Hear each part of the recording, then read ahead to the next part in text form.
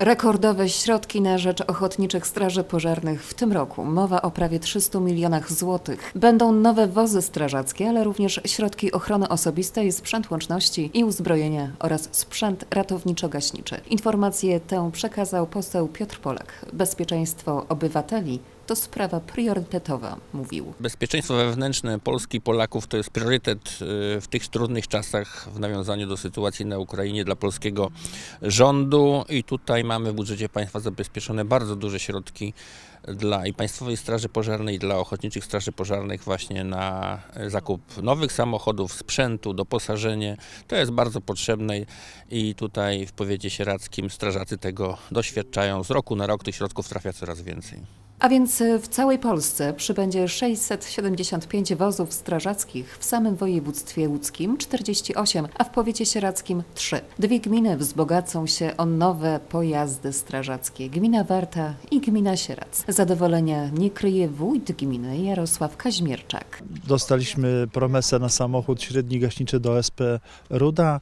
E, Gmina zabezpieczyła 300 tysięcy e, złotych w budżecie na rok 2023, ale jednak musimy dołożyć jeszcze 200 tysięcy i myślę, że niebawem na kolejnej sesji będziemy musieli dołożyć, żeby wyrównać, bo jest 50 na 50. Samochód prawdopodobnie będzie kosztował około miliona złotych, także tutaj jeszcze będziemy starać się, jednostka stara się o środki zewnętrzne z innych instytucji, e, z Wojewódzkiego Funduszu Ochrony Środowiska i Gospodarki Wodnej. Również będzie dofinansowanie z Komendy Wojewódzkiej Straży Pożarnej Państwowej, także tutaj również taki komitet powstał w jednostce, będą zbierać od przedsiębiorców, którzy pracują na terenie gminy Sieradz, działają, mają swoje firmy. No, staramy się, żeby ten samochód był. Jednostka weszła do systemu ratownictwa krajowego, także no tu, tam nam bardzo zależało na tym terenie gminy Sieradz, bo dużo jest lasów i dużo pożarów było i ten samochód jest niezbędny, żeby tam ratować mienie życie ludzkie, dlatego też no, cieszymy się bardzo, że gmina Sieradz otrzymała ten samochód i no i będziemy robić wszystko, żeby ten samochód jak najprędzej był w jednostce z Peruda. Druchowie z Ochotniczej Straży Pożarnej w Rudzie o nowy wóz starali się od kilku lat. To nie dziwi, bowiem korzystają z wysłużonego już 40-letniego pojazdu, a ponieważ teren sołectwa w dużej części obejmuje kompleksy leśne, to zgłoszeń jest też wiele. Chociaż dzisiaj tylko promessa, to strażacy mają nadzieję, że już jesienią ich strażackie marzenie się zmaterializuje. No bardzo się cieszymy, bo od trzech lat się tak e, starali o pozyskanie tego samochodu i na to no, z panem posłem tu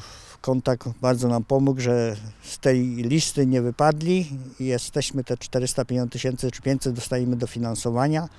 No i tu pan wójt, samorząd zapewnił resztę środków. No i prawdopodobnie tak myślę, że do września, do października spełni się to nasze marzenie, że ten średni samochód dojedzie do naszej tu, y, do naszej miejscowości, do SP Ruda. No i będziemy działać. W roku wyjeżdżamy około 30 wyjazdów. Mamy, jeszcze się pochwalę, że w 2022 wstąpiliśmy do krajowego systemu ratowniczo-gaśniczego, bo no, tu mamy duże kompleks, kompleksy leśne i mamy wyjazdów związane z pożarem lasów. No i ten teren za rzeką Wartą zabezpieczamy. I, no i bo mamy taki 40-letni samochód wysłużony. No właśnie już, miałam się zapytać. No, 40-letni Magirus, który y, spełnia na, na tą chwilę jeszcze warunki, ale no wiadomo, że to już się wysłużył. Wysłużył, a druchowie z Rudy zasłużyli na jego godne zastępstwo, pojazd, który umożliwi jeszcze sprawniejsze działania strażaków.